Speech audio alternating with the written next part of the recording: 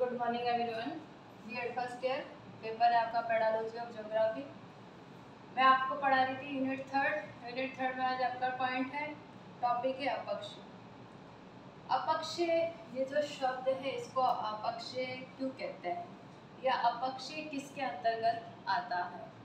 हम अनाच्छादन या अनावृत्तिकरण की जो हमारी प्रक्रिया होती है, उसके अंतर्गत ही हमारा अपक्ष भी आता है। अनाच्छादन या अनावृत्तिकरण हम ये कह सकते हैं। चट्टाने होती हैं, स्थलाकृतियाँ हमारी जितनी भी होती हैं, उनमें धीरे धीरे क्या होता है, परिवर्तन होता है। परिवर्तन किस आधार पे हो रहा है? स्थलाकृतियों में परिवर्तन होता है तो परिवर्तन किस आधार पे हो रहा है? मैदान का बड़ा होना, छोटा होना नदी का, हम ये कह सकते हैं, भाग को बड़ा होना, छोटा होना, किस आधार पे हो रहा है? अपक्षय के कारण हो रहा है। अपक्षय किस आधार पे होते हैं? ताप के कारण, वायु ताप के कारण, जल का जल का किसी स्थान पे लगातार गिरते रहने के कारण, गैस के कारण, फिर हम ये कह सकते हैं जीव जंतु वनस्पति के कारण, कई प्रकार से अनाच्छादन और अनावृत्तिकरण होता है। अनाच्छादन या अनावृत्तिकरण जब होता है तो उसका आधार होता है कि जो भी हम ये कह सकते हैं स्थलाकृति है। वो अपने रूप में चेंजेस लेकर आती है, उसमें परिवर्तन होता है। और परिवर्तन किस आधार पे हो रहा है? हम ये कह सकते हैं कि परिवर्तन वायुदाब के गैस के आधार पर होता है। सीधी सी बातें हम ये एक डेफिनेशन लिख सकते हैं। वह क्रिया वह क्रिया जिसके द्वारा, जिसके द्वारा भूपटल, जिसके द्वारा भूपटल की निम्न शत निम्न शत शेलों शेलों का आवरण आवरण उतरता है, उससे उससे अनावृत्तिकरण अनावृत्तिकरण या अनाच्छादन अनाच्छादन कहते हैं।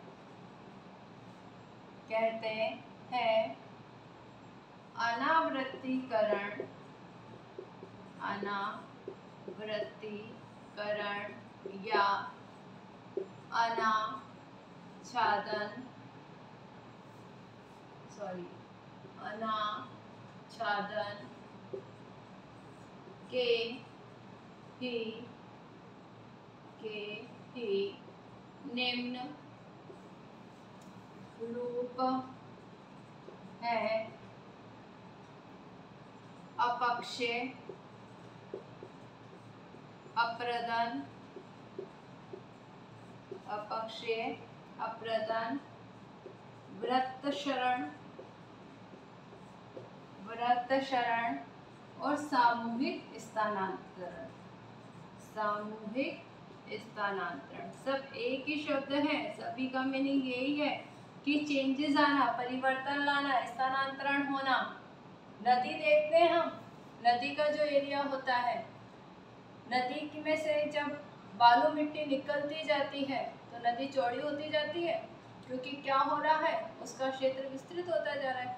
जल जो होएगा बीच बीच में, अगर नदी लगातार नहीं बहती है, बहती हुई नदी नहीं है, उसमें पानी वर्ष पर नहीं रहता है तो जब पानी आता है तो कुछ खड्डों में उसका पानी क्या हो जाता है, इकट्ठा हो जाता है। अगर तो नदी का एरिया क्या होता जा रहा है, विस्तृत होता जा रहा है, बड़ा होता जा रहा है अगर वही नदी वर्ष भर चल रही है तो वर्ष भर चलने से क्या हो रही है? लगातार वो उसी जगह पे चल रही है तो उसमें इतना ज़्यादा कटाव नहीं आएगा। कटाव आएगा, उसके बीच में जो चट्टाने आ रही होंगी, उसमें कटाव आएगा, वो छोटी हो जाएगी। पानी के कारण पानी जब उसमें लगता रहेगा तो जब पानी लग रहा है तो धीरे धीरे उस चट्टान में क्या आती जाती है? दरार आती जाती है। जब दरार आ रही है तो उससे उसके छोटे छोटे छिलके या छोटे छोटे टुकड़े भी अगर निकल रहे हैं तो उससे पत्थर का स्वरूप बदलता है। उसको ही अपक्षय कहते हैं। किसी भी स्थलाकृति का टूटना, फूटना, घिसना अपक्षय कहलाता है। ऊँचे पहाड़ से, या हम ये कह सकते हैं, बहुत सारे पत्थर हम रखते हैं और हम सीधा उसके ऊपर पानी डालेंगे।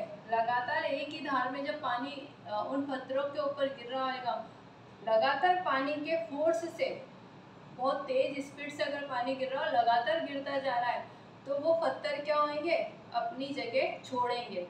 अलग अलग हिलने लग जाएँगे। नीचे की ओर आने लगेंगे। जब वो नीचे की ओर आ रहे हैं, एक भी पत्थर हिल रहा है तो क्या हो रहा है? अपक्षय हो रहा है। चट्टान क्या कर रही है? अपनी स्थान छोड़ रही है। अपना स्थान नीचे, धीरे लेकर आ रही है। अगर पत्थर हिल गया या एक चट्टान भी हिलती है तो दूसरी चट्टान के ऊपर उसका दबाव बढ़ जाता है। उस पानी के फोर्स का तो उसको क्या कहते हैं? अपक्षी अप्रदान या अव्रतशरण या सामूहिक स्थानांतरण कहते हैं। तो अपक्षय के आधार पर भी हम ये कह सकते हैं कि क्या हो रहा है? कृतियों में परिवर्तन चेंजेस आ रहे हैं। चेंजेस किसके आधार पर आ रहे हैं? दबाव के कारण आ सकते हैं, गैसीय परिवर्तन के कारण आ सकते हैं, या हम ये कह सकते हैं जीव जंतुओं के द्वारा आ सकता है। अब हम पेड़ देखते हैं। जीव जंतुओं के द्वारा या हम ये वनस्पति के द्वारा मैं बताती हूँ, पेड़ देखते हैं। पेड़ की जड़ें होती हैं। हम घर के आगे जब हम घर बनाते हैं स्वयं का, हम उसके आगे बहुत बड़े नीम का, आम का, या बरगद का बड़े बड़े वृक्ष क्यों नहीं लगाते हैं? क्यों रीज़न क्या होता है नहीं लगाने का? रीज़न यही है कि जब उसकी जड़ फैलती है तो जड़ जब उसकी फैलेगी तो क्या करेगी जड़ जब उसकी ज़मीन में धीरे धीरे बढ़ती जा रही है, क्या कर रही है? जड़ क्या कर रही है? पृथ्वी को या उस भाग में दरार पैदा कर रही है। दरार पैदा होती जाएगी तो जब वो दरारें या वो जड़ें आगे बढ़ रही हैं तो अपनी जगह घेर रही है, दरार ला रही है। भाग को हिस्से को, ज़मीन को अलग कर रही है। वहाँ अपक्षय की स्थिति उपलब्ध हो रही है। या वहाँ अपक्षय हो रहा है। वो जड़ें क्या करेंगी? घर के अंदर जब हम, अगर वो जड़ें आ जाती हैं तो हमारा जो फर्श होता है, हमारी जो नींव है हमारे मकान की, वो उसको ख़राब कर देंगी। उसको कभी भी वो अगर उखड़ता है पेड़ तो हमारा फर्श या हमारा जो मकान है जब उसका कोई एक भाग भी उसके साथ में उखड़ सकता है, तूफ़ान के साथ में अगर पेड़ गिर जाता है तो वो चीज़ भी क्या हो सकती है? निकल सकती है। वहाँ वो स्थिति अपक्षय लेकर आती है। तो इसी को ही हम अपक्षय कहते हैं। अपक्षय की अगर हम डेफिनेशन लिखेंगे अपक्षय की परिभाषा यह एक स्थैतिक स्थैतिक प्रक्रिया है, स्थैतिक प्रक्रिया है, जिसमें जिसमें शैलें जिसमें शैलें अपने ही अपने ही स्थान पर विघटन विघटन व विनियोजन वियोजन वियोजन द्वारा टूटती फूटती है। उससे अपक्षय उसे अपक्षय कहते हैं। क्या कहते हैं? यह एक कौन सी प्रक्रिया है? शैतिक प्रक्रिया है। स्थैतिक प्रक्रिया। स्थैतिक प्रक्रिया होने के कारण जिसमें क्या होती है? शैले। शैले जिसको हम कहते हैं पर्वत पठार मैदान। शैले सॉरी पर्वत पठार। जितनी भी हमारे ऐसे कहते हैं, चट्टाने होती हैं। आगन्य कायांत्रित अवसादी जितनी भी चट्टाने हैं, उन चट्टानों का अपने ही स्थान पर विघटन, टूटना, अपनी ही उसी जगह पर चट्टान है। पानी के कारण या दरार के कारण उसमें दरार आ गई है, या लगातार ये कह सकते हैं दाव पड़ रहा है। दाव पड़ने से भी उसमें दरार आ रही है। तो वो अपने ही स्थान पर है, हट नहीं रही है, अपना स्थान नहीं छोड़ रही है, या जगह चेंज करके नहीं जा रही है, उसको हम कहीं अलग नहीं रख रहे हैं। वो अपने ही स्थान पे क्या कर रही है, विघटित हो रही है। विघटित हो रही है, टूटती है, फूटती है, उसी प्रक्रिया को क्या कहा जाता है? अपक्षय कहा जाता है। अपक्षय के प्रकार, अपक्षय के तीन प्रकार होते हैं, भौतिक अपक्षय, रासायनिक अपक्षय और जैविक अपक्षय।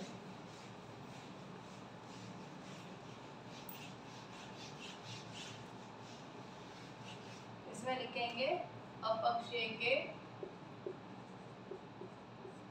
अपक्षय के प्रकार अपक्षय के तीन प्रकार होते हैं।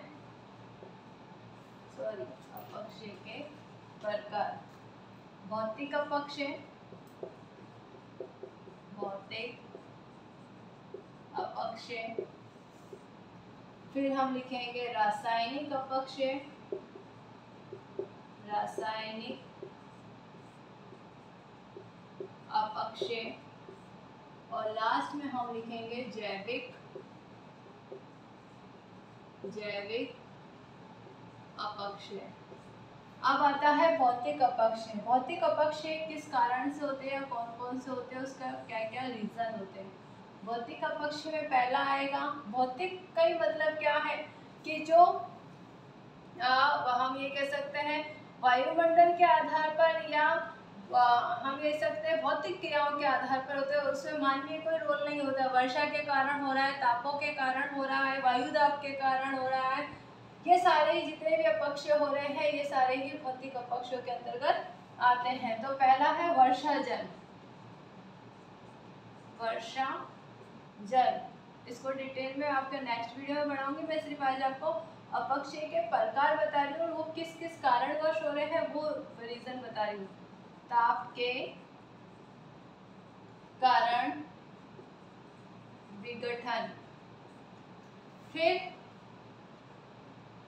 आएगा स्लैकिंग स्लैकिंग अपक्षय स्लैकिंग अपक्षय तुषारी अपक्षय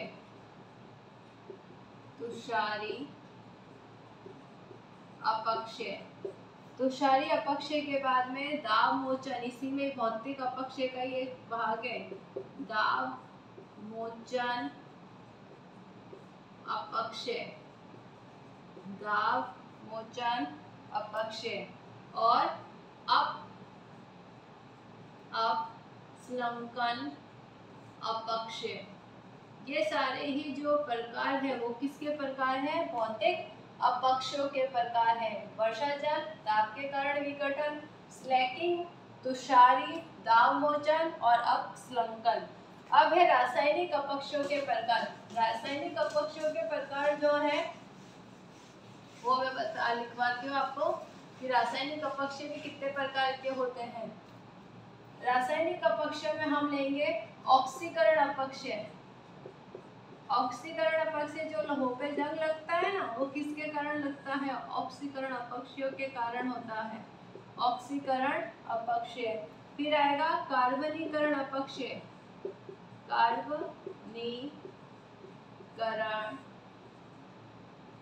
अपक्षय कार्बनीकरण अपक्षय के बाद में हम लेंगे सिलिका पृथककरण। सिलिका